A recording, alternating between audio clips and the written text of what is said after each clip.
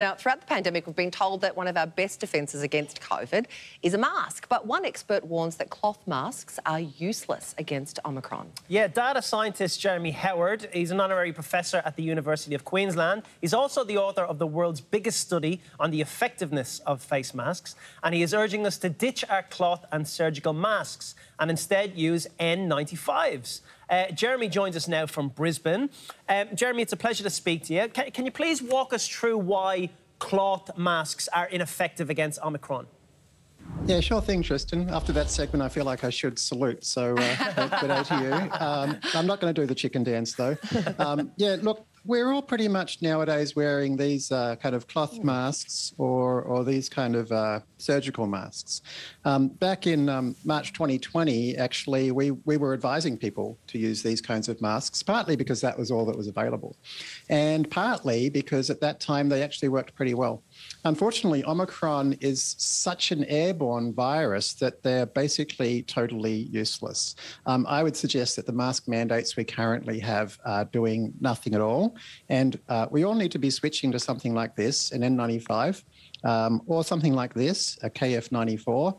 There's so many of them around the world now. Unfortunately, our government has completely failed us by failing to get supply in time, like everything else, rapid mm. tests and so forth.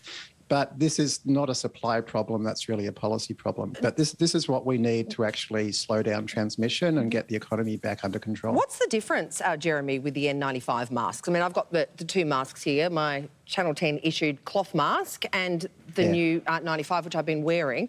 What makes it more effective um, yeah. against so the first from Omicron? One, yeah, so the first one is with the surgical mask. Yeah. There's big gaps in the side, right? So uh -huh. when I breathe in, that aerosolized particles, it's, which is like cigarette smoke, which is how it's transmitted. They go straight through the gap. Uh-huh. And for cloth masks, it's a similar thing, but the gaps are little micro gaps inside the weave. Uh-huh. So there are a couple of key differences. The first is that you'll see when I put this on, it actually, there's no gaps, uh-huh. right? And there's a nice tight fit here.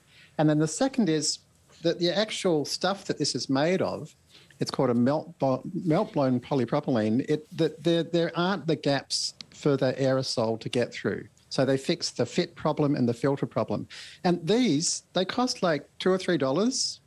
You can oh. use them as many times as you like oh, until the straps start to fail. That's yeah, an improvement, isn't it? And and they don't require any kind of special handling or teaching. In in hospitals they do, but in the community they don't. They've been well tested for community use um, many times over, and they still work um, really pretty well. You know, could, if we all had one of these, that could actually be enough to, to, to stop transmission of this virus.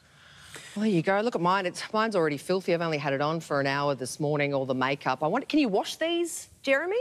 No, don't don't wash them. That won't work. Um, just put up with the makeup in it. You know, oh. it's okay. Um, if, if you can afford to, you know, put get a new one each day, but it's it's purely it's, a cosmetic yeah, thing. There's yeah. there's no medical reason for it. Um, I actually really love these KF94s that come from Korea. Look how flat they are. They can slip into your purse or into your pocket, and then you know they've they, they've got this very strong protective coating.